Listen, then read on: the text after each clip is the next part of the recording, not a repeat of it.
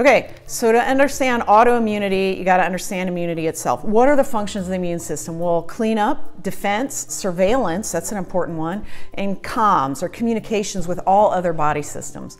So, believe it or not, the immune system uh, talks to the nervous system, it talks to the brain, it talks to your muscles, talks to the heart, talks to the GI tract. The immune system sort of um, ubiquitous and omnipotent and just discusses things with every other system.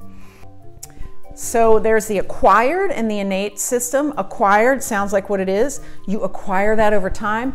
Innate is your primary fundamental defense line. So it's sort of like having a lock on your door. Really, it's like having a door or walls. And then, like if you have a wall around your house, um, if you have an alarm system, these are sort of the innate things. And then the innate communicates with the adaptive, which is the T cells and B cells that that can then target treatment. So the innate system includes skin, mucous membranes, saliva, all of these different defense barriers, then basic cells that just attack anything that's recognized as non-self, sort of non-specifically, and then they create and present uh, different chemicals and cytokines that trigger the immune system, the adaptive immune system, which then becomes more specific. And this is where your antibodies and your uh, T cell based sort of targeted therapy goes.